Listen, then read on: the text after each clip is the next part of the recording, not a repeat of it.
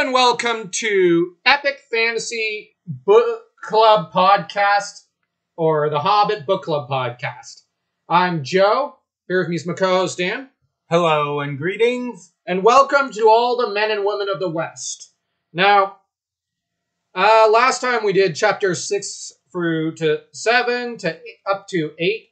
Now we're at number eight, and apparently in Mirkwood there's some sort of magical darkness.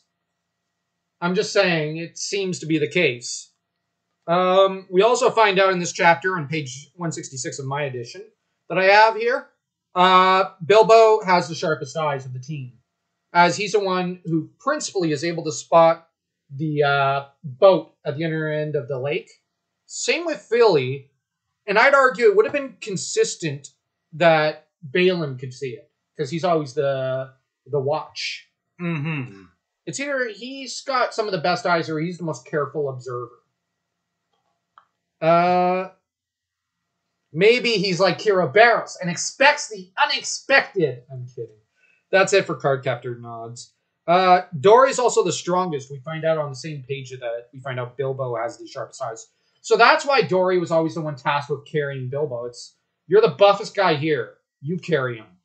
And you know what? Like contribute here. Um, but Dori's also really, really competent. From what yeah. he's just a whiner like uh, Bilbo.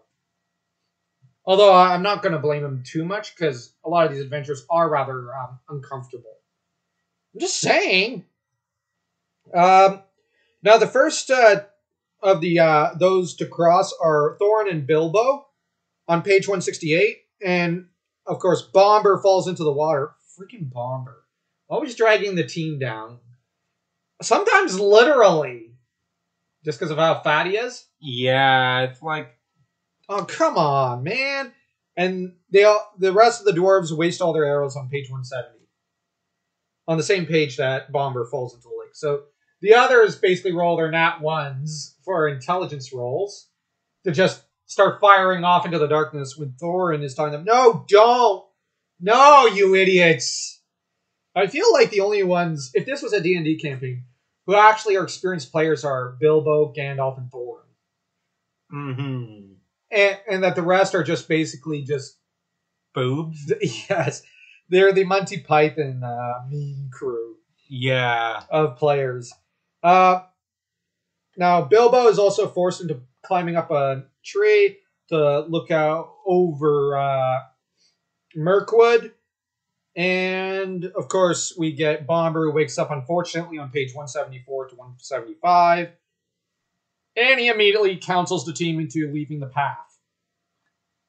Because he forgot everything ex- uh, that came after leaving Bilbo's place. And stupidly says, Well, guys, what's the worst that could happen? Well, you forgot your entire adventure. Eh, it was probably not worth remembering. Anyways, we're leaving the path, guys. Think of the food.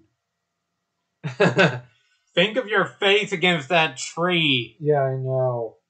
And we get some of the creepiest monsters in The Hobbit. I find these things creepier than Smaug. I hated them at 11 years old. I think I think this novel is why I hate spiders by nature, and I just despise them. Them, but I really hate spiders. They take care of bugs. Yes, but they're also a pain in the ass themselves. You know what also takes care of bugs and that are really cool? Bats, as well as frogs. I like frogs and bats, but I hate spiders. I hate mosquitoes. I hate all bugs. I have no use for them. They're just there to annoy us. What about honey? Okay, I'll I'll admit I actually like bees. Never mind. I have a soft spot in my heart for bees. Bees are cool. And because they're the only bugs that won't sting you out of hand. They'll just leave you alone. Apparently Tolkien didn't like spiders either. So there's a special kind of demon in his world. But well, as seen in the Silmarillion with Ungoliant, uh, who ends up devouring the two trees of light uh, and leaving unlight and darkness in her wake. And she actually tries to kill uh, Morgoth, but is chased off with by his uh, Balrogs. She then meets up with other spiders in the south, mates with them, eats them after mating with them, and uh, she has a whole slew of children. such as Shelob, before she eats herself in her hunger. Well, that was fun. Yeah, now these things are probably great great grandchildren or so of hers, as they seem to be, as they are giant spiders. Mm-hmm. Um, and they're wholly evil and, well, they're cannibalistic man eaters. Yeah. So who needs them?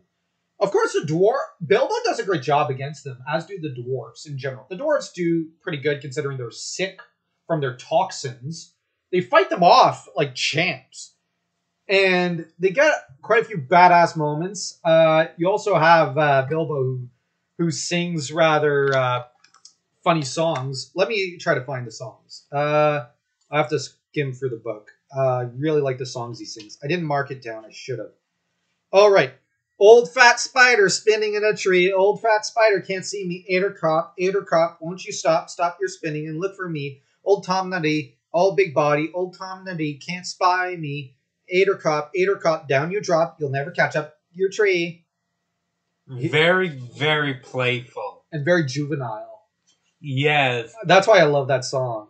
It's essentially the uh Can't. To- ca- nah, to- nah, nah, nah, nah. exactly the Tolkien uh, verbose way of saying nah, nah, nah, nah, nah, you can't catch me. Yeah. And oh man, I really love how he taunts them. He has no respect for those filthy, disgusting pieces of well, anyways. Um hey, if they were the cool bug eaters are the bats and the frogs. Like I said, I have a soft spot in my heart for bats. Mm-hmm. Well, we've lived on property with a lot of bats, and it meant no bugs. That's why I love them. They're one of my favorite animals out there. Maybe we should do an favorite animal podcast sometime just for fun. And least favorite at some point. Anyways, uh, Tolkien knows what's what. So uh, they fight them off, and then on page 193, Bilbo recounts the story of how he uh, encountered Gollum. But here's the thing his version's apparently skewed Mm-hmm. and there are details that he lied about. And the version he told the dwarves is the same version he told uh, Gandalf, uh, Frodo, and Sam. And as Gandalf says later, the uh, version that yes, Gol- Gandalf heard Gollum's version, which was also fairly untrue. But the thing is, even reconciling the two, Gandalf found that both of them left, like, both of them were liars about this story, and that there are details that he didn't, that were quite wrong and completely untrue at a few points, and that Gandalf just made him kind of cast a suspicious eye on both when it comes to the story, their riddle battle and whatnot. So we get a lot of world building there, yet and character lore there. Even if it like, even if we can't trust what either of them say, we can trust that in general something there was a clash between the two for the ring. And what we could also count on is apparently Bilbo had Gollum at his mercy, but he showed pity. He didn't want to kill Gollum. And that the ring was urging Bilbo to kill Gollum, and Bilbo couldn't do it. And that the ring has cast a spell on both, where both of them are lying about what happened, and both of them desire the ring above all other things. So there's a lot of lore there, Mm-hmm. and I really love that. It's Tolkien's uh, mastercraft storytelling at its finest. Yeah, because there's a reason why uh, why uh, Gollum couldn't die right then and there. Yeah, because you like you got to bear in mind, like in Lord of the Rings, in the first few chapters, you have have Frodo asks, like, okay, so he had the ring on his finger, he had Sting in his hand. Why didn't he just, you know, like finish Gollum? And you have Gandalf. Well, that's apparently something that Bilbo didn't mention that he actually had Gollum pretty much begging for his life at one point, or something along those lines, and he just couldn't do it. He pitied Gollum, and for but Gollum wanted to eat him. Yeah, well, pity stayed Bilbo's hand. And pity, pity is what stayed Gol- uh, Bilbo's hand also, I think, towards the orcs. Because Bilbo's not a murderer. He's a good person. Mm-hmm. And this is where Frodo and Sam do kind of ask them, why don't you trust his version of the story? There's just too many holes in it. And that ring, you know, like Gandalf is just going, that ring, I really don't trust it. So you get a lot of lore there, and like the narration, you can't trust. So if you can't trust the narration, now here's the thing: Jane Austen and other authors use this kind of technique, but not. But here's the thing: you were j- supposed to discern these holes in them in Dostoevsky's novels and whatnot, and uh, Conrad. But the thing is, they never fully made it obvious. Mm-hmm. Tolkien decided that it should kind of be obvious in Lord of the Rings. But this is where he's using retroactive continuity and whatnot and the meta narration uh, n- nature of his novels.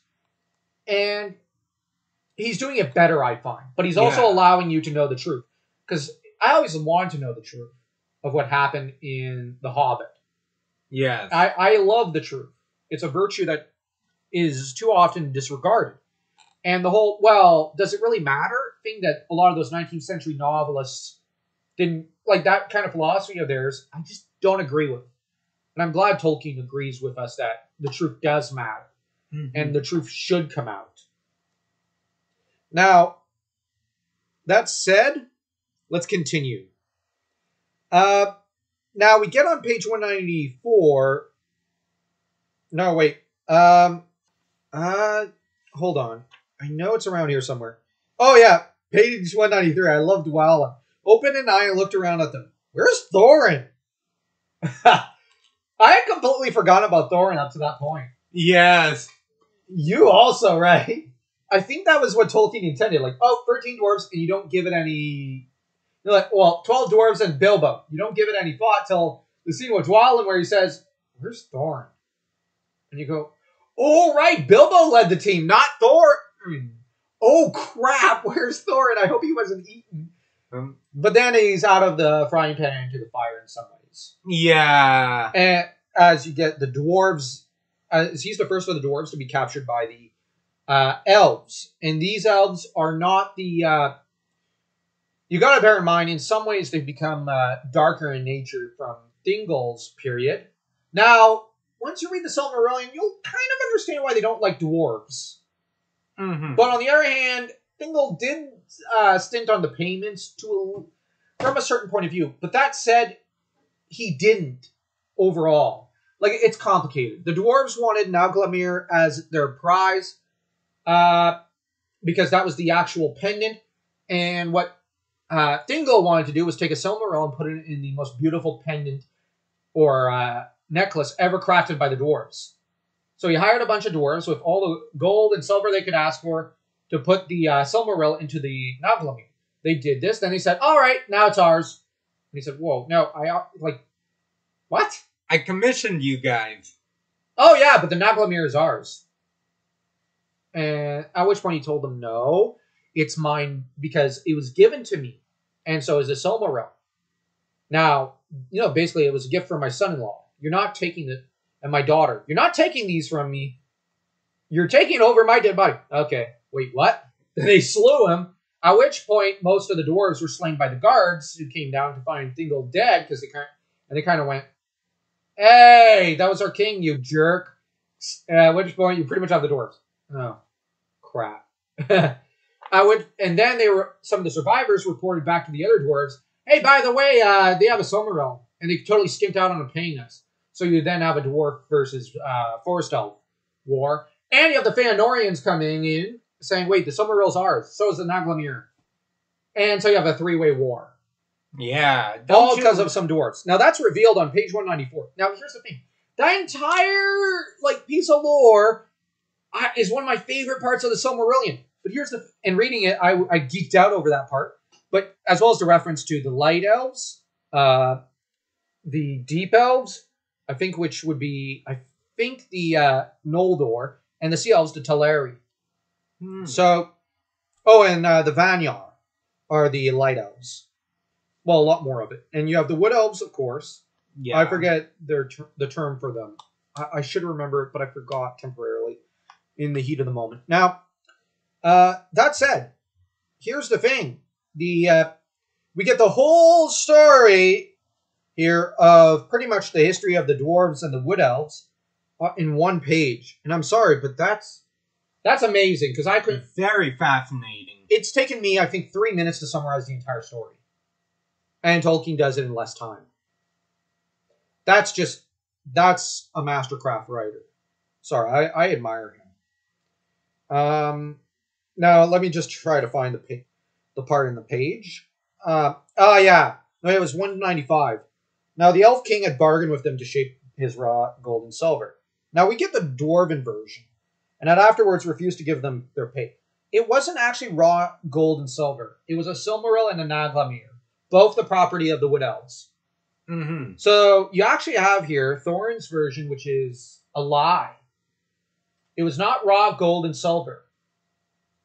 So the version the dwarves are telling isn't re- isn't true. That said, Thorin's family had had nothing to do with the old quarrel. So he had nothing to do with it, but he also has a biased version of what happened, Mm-hmm. which is interesting because you already see that both sides have kind of already made up their mind about each other Yeah. and that's how prejudice kind of works. And but that said, Thranduil.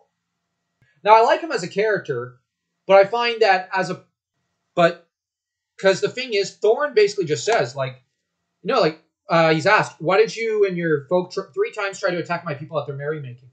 And Thorin explains, we did not attack them. We came to beg. We were starving. Yeah. Where are your friends now, and what are they doing? I don't know, but I expect starving in the forest. What were you doing in the forest? Looking for food and drink because we were starving. But what brought you into the forest at all? Now, Thorin shut his mouth there. Now, the problem is Thranduil, I'll say this, is greedy. Now, Thingol by nature was not greedy.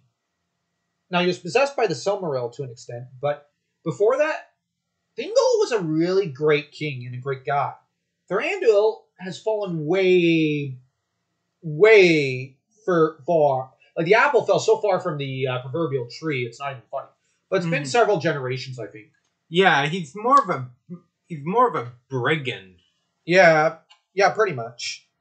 Um, well, he's a Baron Lord. But on the other hand, once you read the history, you can kind of understand why he's got some of the opinions and attitudes he has. But- Mhm. He's not as welcoming as Elrond towards others. yeah. Elrond generally takes the attitude, "You're welcome in my lands until you prove otherwise." Mm-hmm. Thank heavens for Legolas. Uh, as for Bilbo, he ends up surviving for a few weeks in the castle, stealing food to survive, uh, living like a thief. And we actually get a bit of lore, actually, now that I think about it. I love this bit on page 199. Uh, that the chair of the uh, Elven King is carved from uh, wood. On his head was a crown of berries and red leaves. And this is what he wears in the autumn. And in the spring, he wears a crown of woodland flowers. And in his hand, he always holds a carven staff of oak. Now, what's interesting here is that the Hittite kings, I think, held a crook, like a Mhm. shepherd's crook. And that's what it reminds me of. yeah. And it's very fascinating because oak, I think, represents longevity. And and oaks are also symbols of wisdom. Uh well, knowledge, I should say. When I say wisdom, I mean like wisdom in the Norse sense. Lots of knowledge. Uh strength, morale, resistance, as well as uh uh, they're often associated with honor, nobility, and whatnot. Mm-hmm. And that's interesting because Thranduil is of noble birth. Yeah. Now, he later ends up showing, well, he gets character development. Uh, sure, he wants his uh, slice of the pie later of the dragon treasure, despite having no claim to it.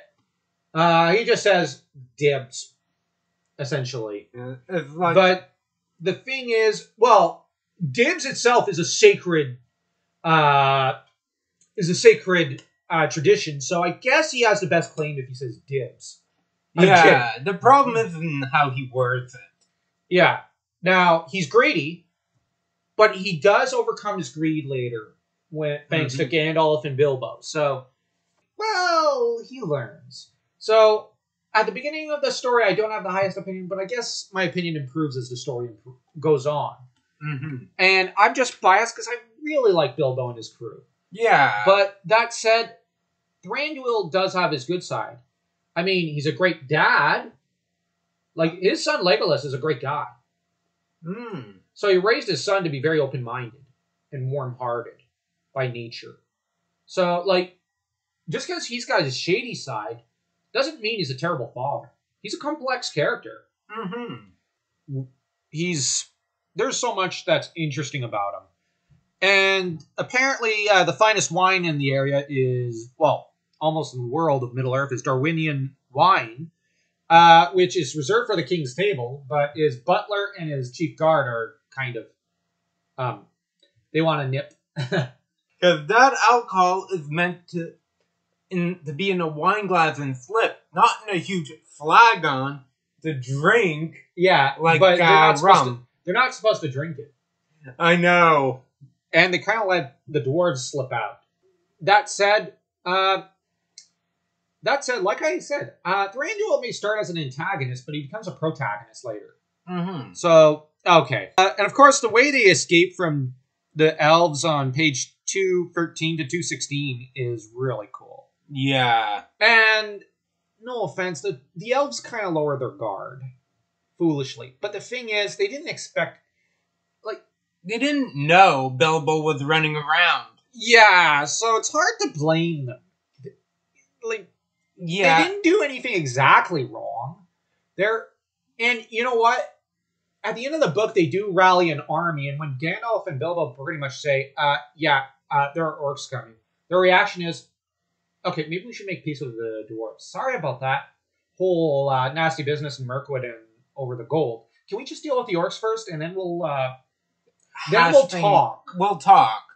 Like Thranduil is one of the first ones to say, "Let's talk."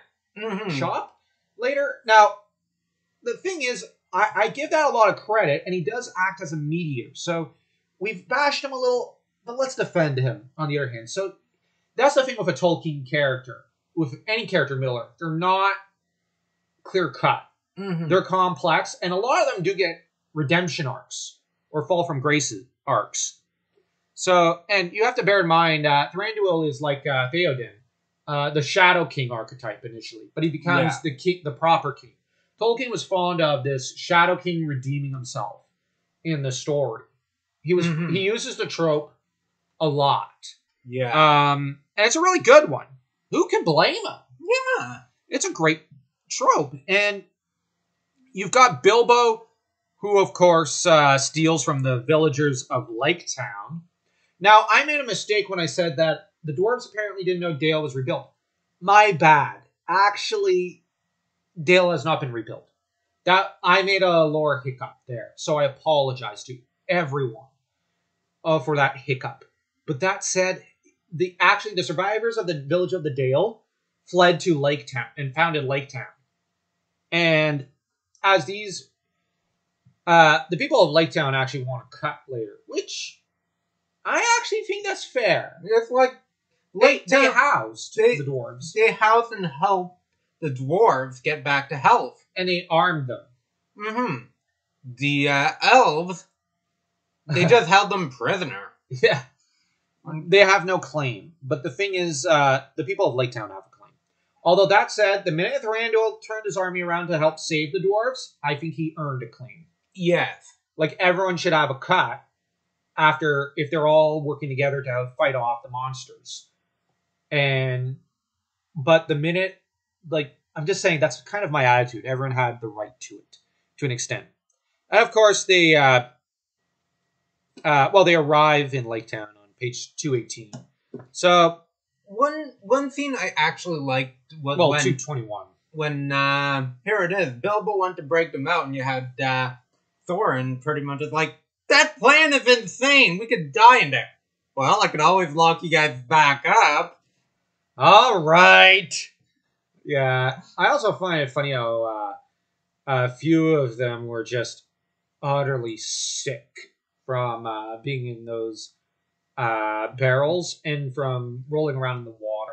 Like yeah, and it makes sense. And Although- and apparently Bilbo caught a cold. Yes. because he, he he slept out in the cold rather than staying warm, which is a little. I feel bad for him. And you know what's the worst part? What One of the dwarves never wants to eat apples again. Fili? Yes, Fili complains. I was stuck with those apples. Oh man, uh, never again. If we do this again, I am never. I don't want to be shoved in with some apples. Oh yeah, like oh I can't believe. I think I is it Fili. I'm pretty sure I did nail that off the top of my head, but I want to make damn sure, just as a point to brag. Um, let me see. Uh, no, it was chapter nine. Whoops. Uh, oh, and you get the uh, song of the elves, which is a little uh, creepy, but um. Oh, whoops! We accidentally jumped into chapter ten a little. Um. Well, we jumped into a little bit of chapter 10, I think. Let me see. Uh, let me see.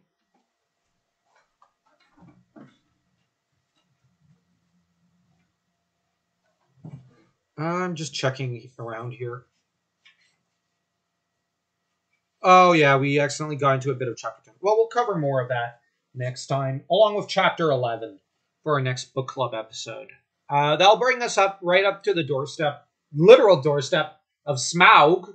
Uh, and from there, we'll deal with the entire desolation of Smaug. What is that? That title was terrible. But that's Peter Jackson for you. No imagination, I find it. Anyways. And wording, Yeah. Uh, but we'll be dealing with uh, Smaug after that, uh, which I can't wait for that. Smaug, I really like as a character. He's a great villain. Mm-hmm. I find he has as much presence as the White Witch in the first book. Yes. Although it's interesting that he looms over the book, uh, but doesn't appear immediately. Now, this kind of technique is not as well used later as with Sauron, who just looms over uh, the Lord of the Rings trilogy. Anyways, uh, do comment, like, uh, share the video, please do. And don't forget to subscribe if you haven't already. We're trying to reach a thousand subscribers, and we'll publish the first page of a dark fantasy horror novel we've been working on. And we really, really want to get there. So until next time, uh, take care and stay safe, men and women of the West.